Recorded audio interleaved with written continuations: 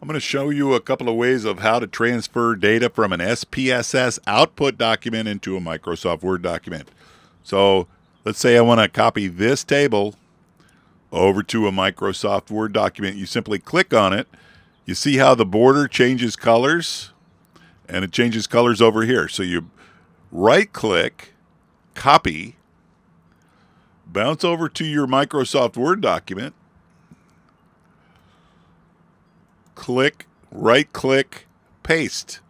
There it is.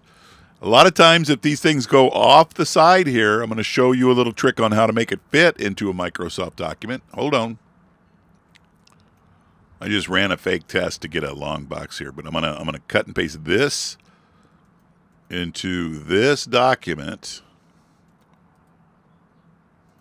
And you see how it goes off the side here? It's way too big. How to fix that is you find that little cross, right click on the little cross. If you guys do an Apple, I don't know how you do your right click, but you got to highlight the whole thing. You're going to go down here to auto fit to window. You see how it squishes everything together. So that's how you get a long table to fit into your Microsoft document. And then for anything else, right? Everything is treated as a graphic or a picture. Let's say I wanted to cut and paste this guy. Boom. Again, you see how it changes colors and it lights up over here? Right click, copy, open up your document. Wrong one. Right one. Pasty, get in there. Right click, paste. There's your document. And again, it treats it like a just a regular graphic. You could shrink them. All right, so that's one way. The the another faster way is to simply go to your output. You go to File, Export. It takes you to this box. Make sure you're in the right category here. Let me put you into this one. And then we're just going to name it um, Test SPSS Transfer. Click save over here. And then down on the bottom whoop, there's an OK button. Sorry about that. Hold on you guys. Oh come on you.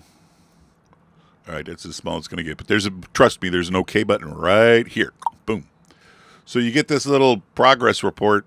Eh, eh, eh, that means it's working so what it did was make a new file that we just named. Let's just go find it. Hold on. There it is right on top. You'll notice it says DOC instead of DOCX. That's how old this program is, but it gets worse. So when we open it up, there it is. That's everything. The problem when you do it this way is you get all these these boxes here that are SPSS code that you really don't need to turn in, right? So what I do is every time you run a test, you're going to get a, a, this little box that don't need the information. So you highlight it, right click, and just cut it out. And there should be a bunch of them. And it gives you a lot of tables. Like you don't really need this table either. Delete them all, I say. Anything that you're not going to use, delete. So like here's another one. Right click, just got rid of it. Okay.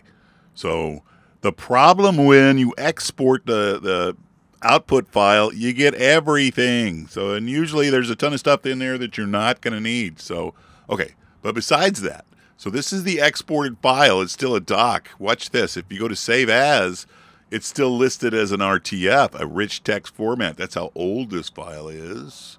SPSS, I mean. So all you do is you save as, turn it back into a DOX. DOCX. That's that's my humble advice to you. That way you will not have any problems opening it anywhere. All right, so that's all you do. MGZ out.